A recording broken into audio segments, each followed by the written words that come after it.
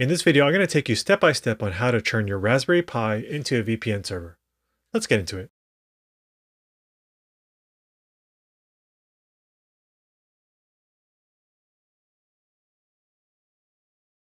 A VPN or virtual private network allows you to connect to a private network even while on another network. You may have seen advertisements for other VPN services such as NordVPN and ExpressVPN. Those are great services and allow you to use the internet safely and securely even while on a public network. My name is Patrick and this is Everyday Tech, everyday tech for everyday people. Today we're talking about how we can turn a Raspberry Pi into a VPN server for your home and talk about practical ways we can use it. Before I get into this video, let me quickly talk about this case from KKSB. Now KKSB makes high quality cases for Raspberry Pi and other single board computers. Now they did send this to me for free, but they're not reviewing any videos before I release it. They're not even asking for a dedicated video on this. What, but I will do a dedicated video on this particular case in the near future. Here I have the Raspberry Pi 4 aluminum case, tall edition. And they also did send me the cooling fan, which comes separately, but I'm really liking this case. So for more information, check out the links in the description below, and let's go on to the video. So the first thing we're gonna do is install a fresh copy of Raspbian, and we're using the Raspberry Pi Imager here, version 1.7.3, which is the latest version as of this recording. Now I'm not gonna go through all the detailed step-by-steps that I'm taking here, but you can check out my dedicated video I did on this process here. So we're going to make sure to choose the light version of Raspbian. We don't need the desktop environment. And I already have my SD card in here, so I'm going to go through this process right now.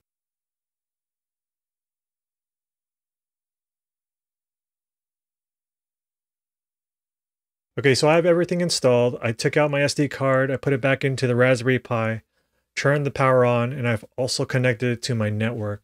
Now you can do this on Wi-Fi, but I rec I would recommend hooking up your Raspberry Pi directly to your network via an Ethernet cable. But here you're going to need a terminal program. The terminal program built in Mac is just fine, or you can use PuTTY on Windows. But here you're going to need the IP address, or since I configured the host name already on here, I'm going to do test.local. I made the host name called test. Now, if you don't have the ability to do this, for example, on some Windows machines, then you're going to, instead of test.local, you have to put the IP address of your Raspberry Pi. I'm going to go ahead and put that in. And now, once we are in our Raspberry Pi here, we want to make sure that it's updated with the latest. So we're going to go to sudo apt update. And then we're going to go sudo apt upgrade after this finishes downloading the updates here. Let's do that really quickly here.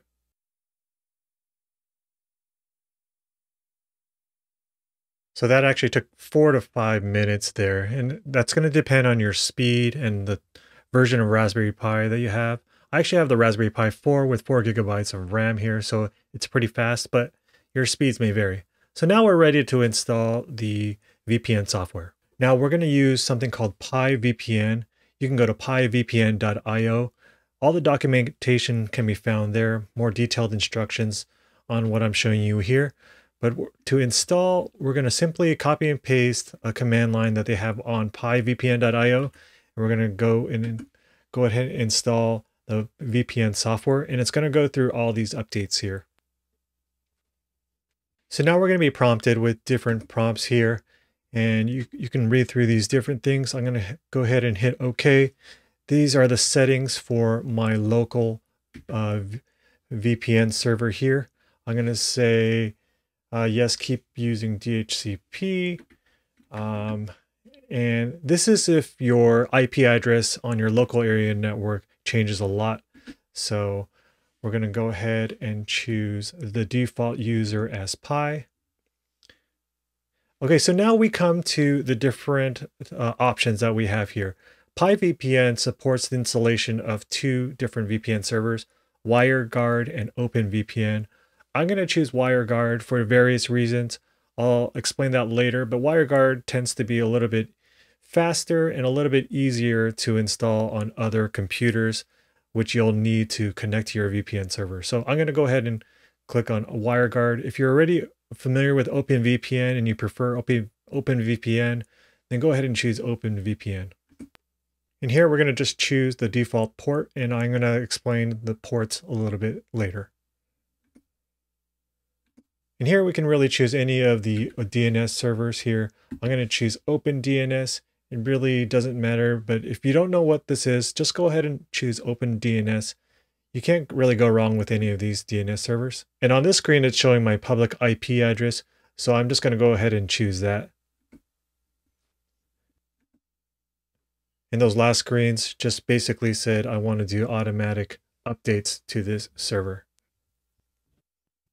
And this tells you how to add a client profile. Before you can actually use the VPN server, you need to create a client profile that's installed on one of your other computers to connect to this VPN server. But we're going to get back to this in a moment.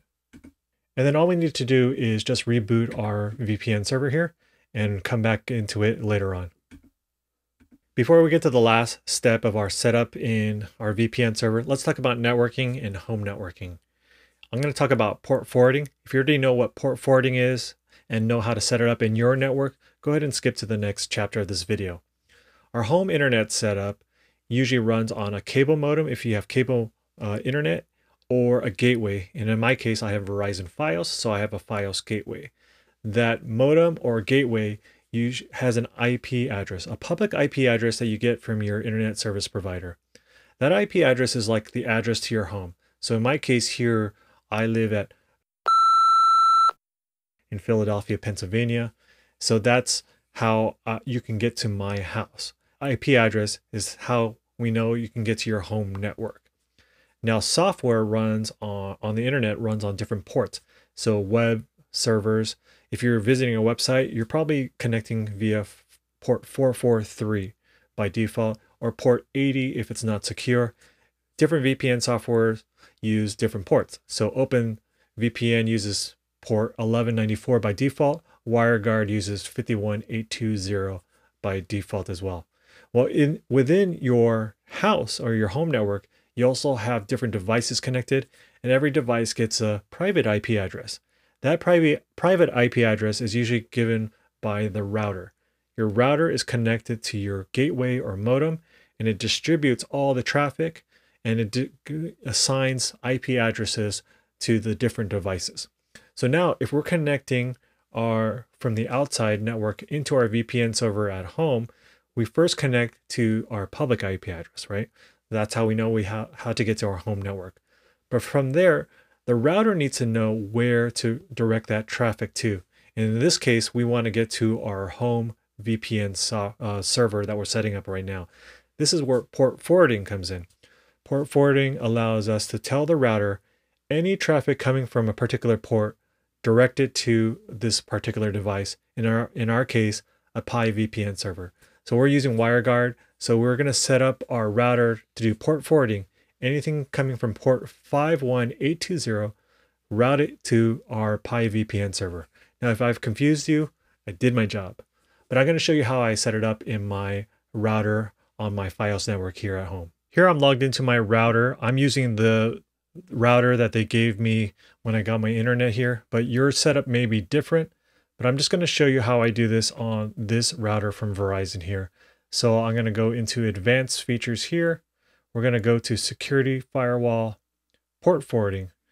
And so here I'm going to just type in WireGuard and I'm typing in 51820. This is the port coming in. We're going to use the UDP protocol. We're going to select our IP address of our device. I already know it, so I'm going to just go ahead and type it in here. 192.168.1.231. Okay, and then we're going to do port 51820, which is the final port on the server itself. And then we're going to say always. So I'm not going to hit add to list because I already have a VPN server set up, a Raspberry Pi set up for my VPN server, but let me show you where that is. Here it is. I have port forwarding all traffic coming from 51820 using the UDP protocol and forward it to my address here, my local device here, which is my other Raspberry Pi running a VPN server and running on 51820. But basically, you need a router that supports port forwarding. Look for that port forwarding area to set up configuration and make sure 51820 is forwarding to your device on 51820 using the UDP protocol. The last thing I'll mention about networking is this solution may not work for you if you're connecting from a network with a very similar home network setup. So let me explain. On my home network here, I have a very similar network setup like a lot of people at home. I have a 192.168.1 address. Now, if I'm connecting from another person's house with a very similar setup, 192.168.1 setup, it's not going to be able to communicate with my home VPN server because there's going to be some confusion in there. You're going to need to set up a different type of setup in your house. For example, maybe 192.168.0 or 10. something that something. Now, for most of you, you're not going to ever worry about this because you're going to be connecting from either a public Wi-Fi network, which will have a very different networking scheme. But this is just something I wanted to point out. So we're logged back here into our Raspberry Pi. We're going to install our first client or profile. We're going to type in PiVPN add and name our name our profile or client. Make sure there's no spaces. It does support a few characters, but mainly use alphanumeric. And I'm going to just type everyday tech. Make sure you have no spaces. And now we've created our first client or profile. All those profiles are going to be stored in configs and those are going to be used to import into your VPN software on your client side, on your computer or your devices. There are client or applications that are for Windows, Mac, Linux, a lot of different flavors of Linux, and for iOS and for Android. And then you can use this profile to uh, import it into those clients. Now, if you're using a mobile device, iOS and Android, you can say PiVPN QR. And this will generate a QR code. I'm not going to do it right now. QR co code that you can use on your device to import that profile very easily. So we're on my Mac here and I've already installed the WireGuard client software. It's put the icon up here. So when we click on that, I already have my current VPN profile already imported here. So it shows right here. So if I click on that, I'm automatically connected to my VPN server here. But the first time you're using this, it'll be empty. And for us to add our profile or import our profile, you can do manage tunnels or import tunnels from file. If I do that, it'll ask me to import the file that we got from our config directory. Now, if you're unable to bring that file over, the other thing you can do is this. You can just say plus and say add empty tunnel. And then you can just go ahead and copy and paste the contents of that profile into this empty space right here. And now I'm showing you my iPad Pro, but this will be very similar to the iPhone and even on the Android app. But to add a profile, we're going to tap on the plus icon there. We're going to import from a file. Going to scan our QR code that we generated before or created from scratch and then connect to the VPN server, simply just toggle one of these buttons here and you're connected to your VPN server. Now that we have our VPN server set up, our home network set up, all the clients installed on our devices, let's talk about practical ways we can use our VPN server. Being connected to a VPN network allows me to make it look like I'm connecting on the web from another location. Now, why would I want to do this? Well, some services out there are geolocation restricted. Now, some of the paid VPN services actually allow you to choose the location you're connecting from. Now, I'm not advocating doing something illegal here. And actually, some of the streaming services are out, out there already block some of the VPN services out there, especially the free ones. Now, of course, this setup here doesn't allow me to choose which location I'm coming from. It's coming from my home network. So for example, I was visiting family in Boston, but I can make it look like I'm streaming from Philadelphia. Now, of course, the other benefit of connecting to a VPN network is that I can securely browse the web even in a public network because there's a secure connection between me and the VPN server. Another advantage is accessing anything I need on my network. So because I'm working in the office or working around town, not just working from home, Oftentimes I need something on my Mac here, a file on my network attached storage. So I can just uh, log into my network here and just get the files I need to. I can remote control my Mac here, remote desktop into here using a program called VNC. So in other words, when I'm connected to my VPN server here, it's as if my computer was on the network at home, even if I'm at a coffee shop or something. And then the last use case I'll mention is a pretty niche case, but if you're doing some video production or live streaming production for another client, having a VPN server can be very useful. So for example, I have my ATEM Mini Pro here, which can be fully controlled via the network. So if I'm logged into a client's network and they have an ATEM Mini Pro, I can do all the camera switching for them. Of course, this requires some extra work. You're going to need to set up uh, the server on their network, course, configure their network and do all these things.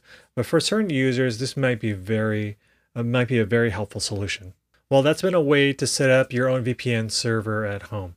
Now, I know the networking stuff can be a little bit confusing, but once you get past that, you're good to go.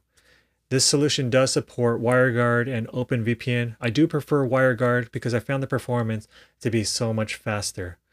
Because I like the way things are set up on my home network, it's kind of nice to know that even if I'm out and about, I can access everything on my home network, including my computer and my network attached storage.